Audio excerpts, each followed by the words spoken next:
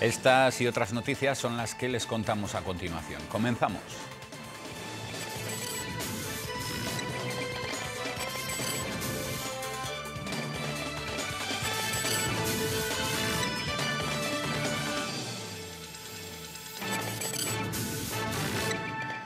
¿Qué tal? Bienvenidos un día más al tiempo para la información más cercana aquí en Telebilbao con este diario local de hoy, martes 7 de septiembre. Comenzamos repasando la evolución de la pandemia por COVID en función de los datos dados a conocer en la jornada de hoy y que reflejan que Euskadi se mantiene por encima de la barrera de los 200 contagios diarios tras detectar 246 nuevos positivos frente a los 209 casos notificados ayer. En el día de ayer, 38 personas ingresaron por COVID-19 en planta, tres pacientes más respecto a la jornada anterior y el número total de hospitalizados en planta alcanza los 195 pacientes. Por otro lado, se ha producido un notable descenso en el número de pacientes que permanecen en las unidades de cuidados intensivos. Concretamente, 62 personas se encuentran ingresadas en cama de críticos, nueve pacientes menos que el día anterior. La tasa de incidencia acumulada en 14 días por cada 100.000 habitantes se sitúa en 240,21 casos, 11 puntos menos respecto a la jornada anterior y el índice de reproductividad es de 0,83, situándose por debajo del 1. Y la consejera de Salud, Gochones Sagardui, ha valorado con prudencia estos datos, a pesar de que la evolución parece ser buena e indica que se está superando la denominada quinta ola. La responsable de Sanidad ha destacado que esta evolución positiva está siendo más lenta de lo esperado y que los datos de las próximas semanas serán los que determinen la situación real. También ha reconocido que la vacunación del colectivo de entre 20 y 35 años no está siendo todo lo positiva que se querría comparándola con otros tramos de edad y ha hecho un nuevo llamamiento a la vacunación de las personas de esta franja de edad. El colectivo de 20 a 35 años ha quedado un poco rezagado respecto al resto, ya que su cobertura de vacunación no supera el 80%. Están a tiempo. Vuelvo a hacer un llamamiento para que entren en la web de Osakidecha y soliciten su cita. Volveremos a enviar un SMS a este colectivo para fomentar su vacunación, pero insisto, hay citas disponibles anímense y eh, tomen la suya. La evolución epidemiológica sigue siendo descendente, aunque, como venimos diciendo a lo largo de las últimas semanas, este descenso es más lento en el ámbito asistencial. Lo dije tras el Consejo Asesor del AVI y lo reitero hoy. Estamos ante unas semanas decisivas. Prudencia, prudencia y más prudencia pero con esperanza y mucha ilusión ante el inicio del curso escolar. Y hablando del inicio escolar, esperado por algunos padres y madres y temido por algunos niños y niñas, mañana será el día en que muchos regresen a las aulas. La vuelta al cole después del verano siempre se hace dura para algunos. Este será el tercer curso afectado por la pandemia y les recordamos las medidas impuestas por las autoridades para garantizar la seguridad de alumnos, profesores y demás personal. Mascarillas, hidrogeles y distancias, todas ellas muy similares a las puestas en vigor el año pasado. Termina el verano y los niños vuelven a las clases para dar comienzo al que será el tercer curso marcado por el coronavirus. Esta vez los centros educativos abrirán sus puertas con menos incertidumbre que en 2020, ya que Sanidad ha decidido mantener las medidas preventivas que se instauraron el curso anterior, a las que han añadido alguna actualización más. Podemos destacar que se mantienen las normas del uso obligatorio de mascarillas en alumnos a partir de 6 años, del lavado de manos frecuente y la ventilación continua y cruzada. Otras medidas se relajan un poco, como el aforo de las clases, que volverán a acoger a 25 alumnos por aula, excepto en los cursos de primero a cuarto de primaria, donde se mantendrán los grupos burbuja. Aunque la distancia de metro y medio seguirá cumpliéndose en las aulas, se podrá reducir a un metro veinte en los grupos a partir de quinto de primaria. Además, los centros apuestan por las clases presenciales, que podrían ser excepcionalmente semipresenciales en niveles que van desde tercero de la ESO hasta bachillerato, cuando las medidas anti-COVID no puedan cumplirse correctamente. El lado bueno de este inicio de curso es que se lleva a cabo con una ayuda extra, la de la vacunación, ya que la mayoría de profesores han completado la pauta de vacunación, mientras que muchos de los alumnos de entre 12 y 19 años también están vacunados. En estos estos momentos, nuestra población mayor de 12 años con al menos una dosis alcanza ya el 88,7% y con pauta completa el 82,4%. Son datos que reflejan la responsabilidad y la solidaridad de la población vasca y que permitirán comenzar el curso académico con el 80% del alumnado con al menos una dosis. Aunque los datos de personas vacunadas son buenos, los expertos recuerdan que no hay que bajar la guardia y que debemos seguir cumpliendo todas las medidas de autoprotección ante el coronavirus para evitar posibles contagios. Bajo el lema Euskaraz Gehiago Gara, el Ayuntamiento de Bilbao ha iniciado una campaña para fomentar la matriculación de las y los bilbaínos en los euskalteguis de la Villa para este curso 2021-22.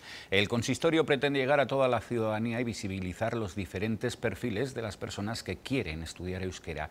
Así la campaña refleja diversas situaciones, padres, madres, tutores que desean acompañar a sus hijos o hijas en sus tareas escolares, personas adultas que quieren mejorar sus condiciones laborales, personas migrantes que quieren conocer y usar el euskera o personas mayores que quieren socializar en euskera también, entre otras. Como ya sucediese en la campaña 2021, cada euskaltegui llevará a cabo su plan de contingencia cumpliendo todas las normas sanitarias con el objetivo de que el alumnado acuda con tranquilidad a los euskalteguis y se animen a realizar los cursos de manera presencial por ser la fórmula que mejor resultado da.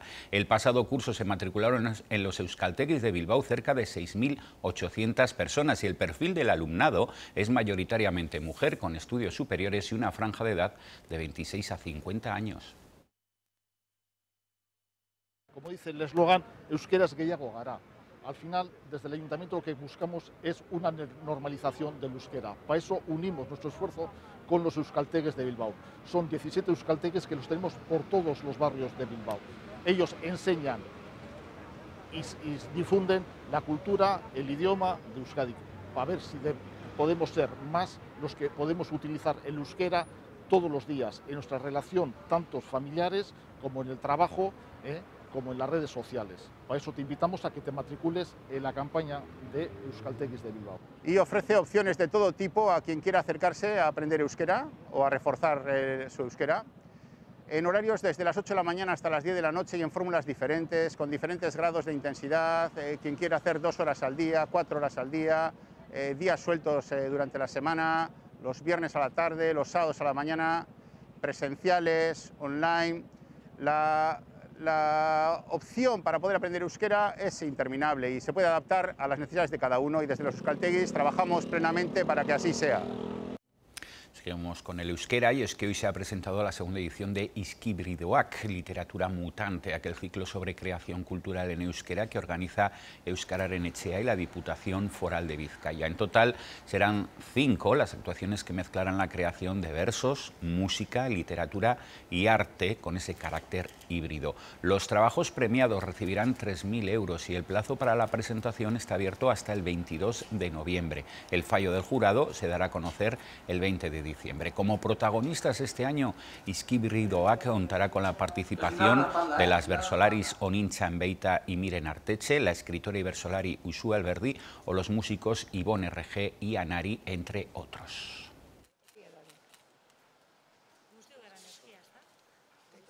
Zer da izkibrituak eta zer da izkibrituak literatura mutanteak? Azken baten literaturaren eta hauskotasunaren arteko mutazioak ere edo eta mutazioak aldaketak egokitzapenak danean dira ezinbestekoak aurrera egiteko, ezinbestekoak doguz gizarte moduan aurrera egiteko, ezinbestekoak doguz kulturan aurrera egiteko, eta ezinbestekoak doguz hizkuntzan ere aurrera egiteko.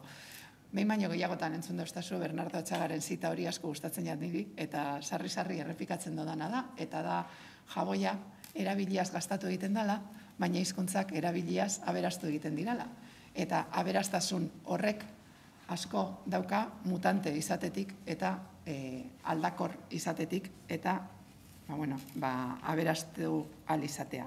Letrak, soinuak, bertzoak eta irudiak. Guzti hori izango da, izkibridoak literatura mutanteak. Eta urtengo protagonistak e, kartelean uste dut badatu zela, baina izango dira Ibon RG eta Anari musikariak, Mirande musika egitasmoa, Uxue Alberdi, bera badakizue idazlea eta bertsolaria duguna, Danele Sarri Ugarte idazlea, eta onintzen beita eta miren artetxe bertsolariak. Con el objetivo de ayudar a los sectores más afectados por la crisis sanitaria producida por el COVID, el Ayuntamiento de Bilbao vuelve a poner en marcha nuevas campañas de los denominados bonos Bilbao. Las campañas que ahora se lanzan tras el éxito de la edición anterior corresponden a los bonos Bilbao dirigidos a la hostelería, restauración y también a la cultura, con la adhesión en una primera etapa de los establecimientos correspondientes a ambos sectores. Esta fase arranca mañana miércoles 8 de septiembre con la apertura en la web bonosbilbao.eus, donde deberán apuntarse las distintas empresas. Se trata, como se recordará, de una plataforma muy sencilla y de fácil acceso donde en otra etapa posterior, a partir de octubre, será la ciudadanía quien adquiera esos bonos de diferentes eh, sectores. El presupuesto total asciende ahora a cerca de 1,5 millones de euros repartidos en unos 155.000 bonos, de los que más de 124.000 serán para hostelería y otros 30.500 para cultura. Destacar como dato importante que la mitad del importe de cada bono es abonado por el propio Ayuntamiento de Bilbao.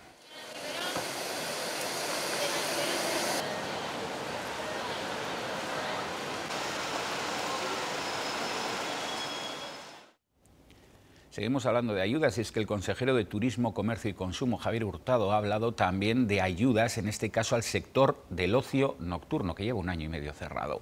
Hurtado ha hablado de una campaña de ayudas que van desde los 10.000 a los 35.000 euros para los, profesionales de este tipo de establecimientos. El consejero de Comercio ha indicado que el Gobierno vasco destinará un total de 12 millones de euros para ayudas a estos centros, de los que se calcula se podrían beneficiarse en nuestra comunidad autónoma cerca de un millar. Las ayudas se establecen según el establecimiento y el número de trabajadores, de la siguiente forma.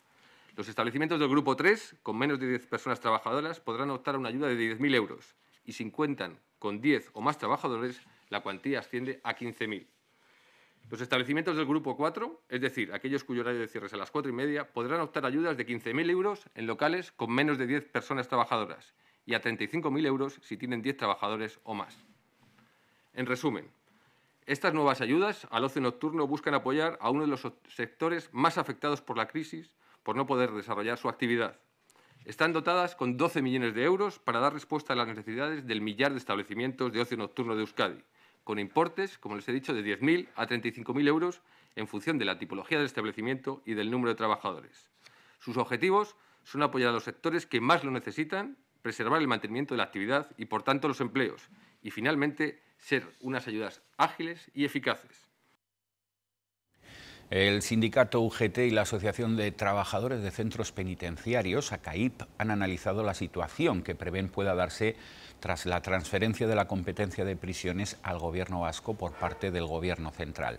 Es por ello que han dirigido una solicitud a la Consejería de Igualdad, Justicia y Políticas Sociales del Gobierno vasco, en el que, entre otras cosas, solicitan dotar de un departamento más de aislamiento para desatascar el de Álava y poder hacer frente a la población reclusa inadaptada y También consideran necesario generar una oferta de empleo público para mejorar los ratios de empleado por interno, la creación de una bolsa de personal interino y la negociación del nuevo convenio. También existen otras peticiones en materia de infraestructuras, condiciones de trabajo y un protocolo sobre agresiones.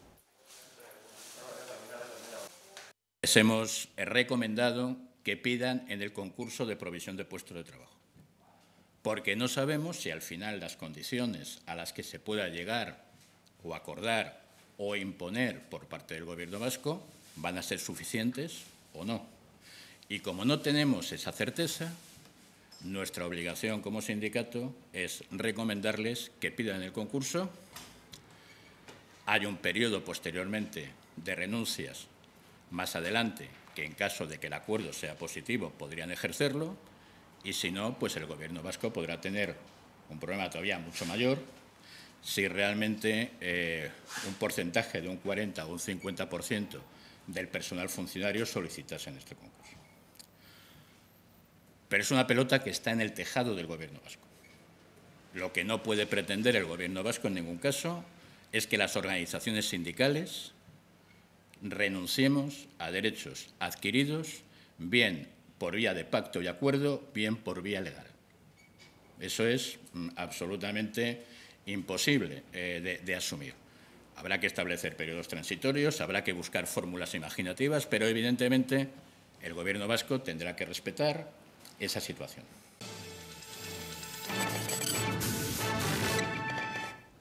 El primer derby femenino de la historia de San Mamés, el apasionante Athletic Club Real Sociedad, que se disputa este domingo a las 12 horas, ya tiene sus entradas a la venta en la página web del club. Las entradas para el público en general se venden a 5 euros, mientras que los menores de 15 años pagarán tan solo 2. Los socios y socias que no se apuntaron la semana pasada tienen la oportunidad de sacar aún su entrada a coste cero, introduciendo su código de socio. Por otra parte, desde hoy, los socios y socias agraciados con una entrada podrán descargársela en la sección del Choco de los Socios en la que realizaron la inscripción. Además, el club enviará directamente hoy las entradas a los correos electrónicos que se introdujeron en la inscripción. Los agraciados podrán acceder también al estadio con la aplicación oficial del Athletic Club en la sección Mi Carnet.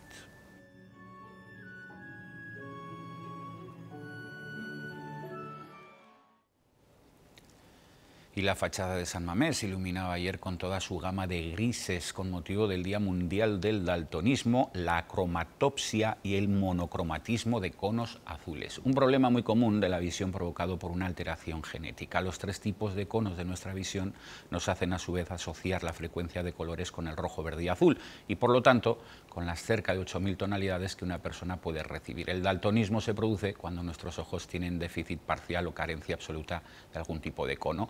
Fachada de San Mamés se encendía con toda su gama de grises para recordar que actualmente el daltonismo no tiene un tratamiento específico. Avances en el campo de la biotecnología permiten mirar el futuro con optimismo ya que se sigue avanzando con paso firme en las pruebas clínicas antes de encarar los ensayos en humanos.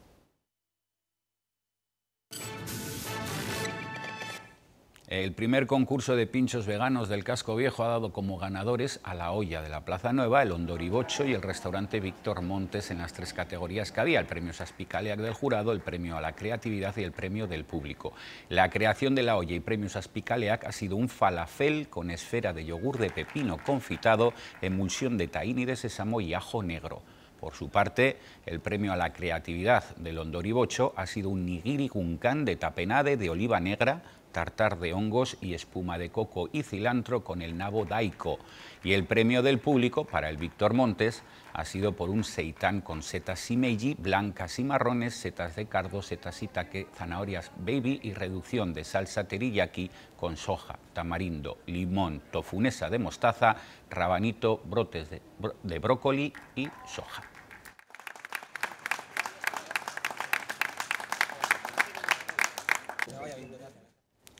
Y pasamos a continuación a conocer el pronóstico del tiempo para mañana miércoles.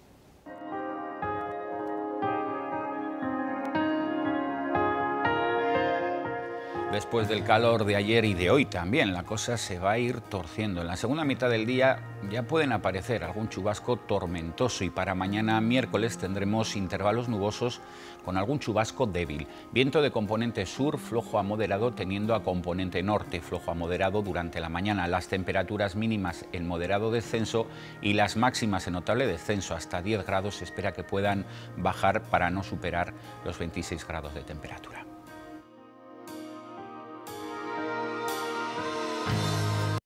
Vizcaibús por una Vizcaya más limpia. Pues hasta aquí todo lo que teníamos para contarles por el momento. Gracias por estar ahí como siempre. Aguretas Carricasco.